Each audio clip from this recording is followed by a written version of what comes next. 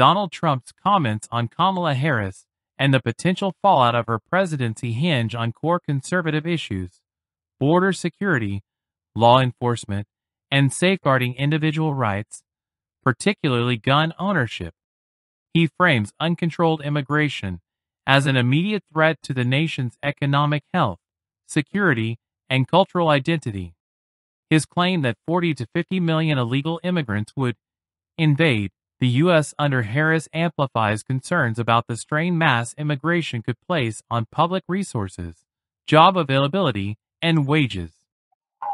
A vote for Kamala Harris means 40 or 50 million more illegal aliens will invade across our borders, stealing your money, stealing your jobs, stealing your life. It means your police forces will be gutted, your guns will be confiscated, and savage criminals will run wild in the streets. So that's what it means. You know what? That's what it means. You know, she's always said, we will confiscate all guns. Now she's saying, oh, no, guns are, I think they're wonderful, right? Doesn't work that way. They're going to confiscate your guns. I'm the one that's protecting it. We, you know, we got the total endorsement of every gun group, including the NRA, and and we have protected your Second Amendment. And if you think it was easy, it was not easy.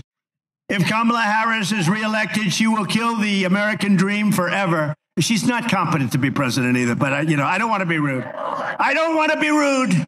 She's not competent to be president. Did you see her on Oprah? That's not going to be.